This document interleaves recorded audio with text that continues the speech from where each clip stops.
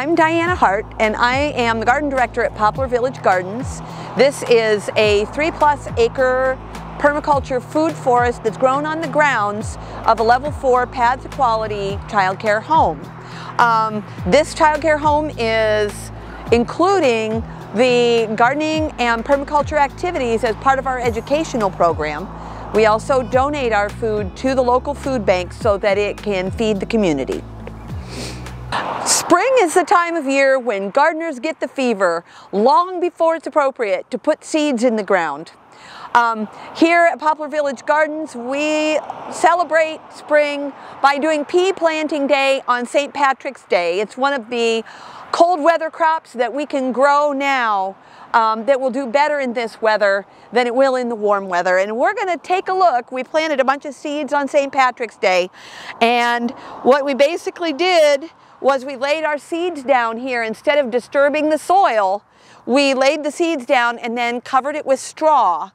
Now, um, it's been pretty cold, but I am looking under the straw. What we have in these beds up here are peas and uh, mustard greens, and they are not sprouting yet, not a surprise. Uh, we had a lot of rain after we planted these, so they got good water, and this bed is planted the same. One of the things that we like to do is we like to practice sustainable practices, which means in this bed, the chair is going to be the support for the vining peas. So after this chair became unusable as a chair, it is having a second life. One of the super cool things that happens in the spring. I planted a lot of native plantings in the garden as well. In this area right here is our sage hedge, but I like to go through. I'm kind of into foraging and I like to go through. This is the time of year if you think that you don't have a crop. There are foods that you can forage for, like these dandelion greens before the blossom comes on. Those are just perfect for human consumption. And there are some other things like that. But when we leave the leaves on until the nights are consistently 50 degrees or above in order to preserve the insects that might be nesting there, and the same way with the growth.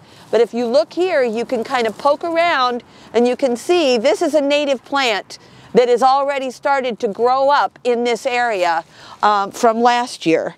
And then there is other growth, more dandelion greens. And our, of course our spring bulbs, those are not native, but it will give us some color this spring.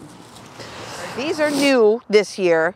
They're kind of cool because you can step into the keyhole shape and you can work around like this. So you've got a lot of things within arm's reach. Um, the other thing that's neat about them is that they have a wire basket inside of them. This is where you throw your compost. Um, what's really cool about this is that you put your compost in here. That is an invitation to the earthworms to come and have dinner.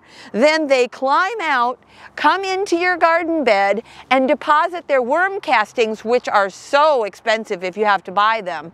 And they are automatically fertilizing your soil without you having to do anything other than put your uh, kitchen scraps here.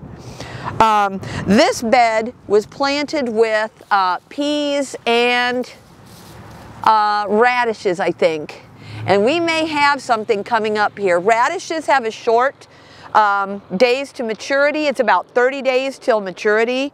So once they start coming up, it won't be very long before we'll be able to um, harvest.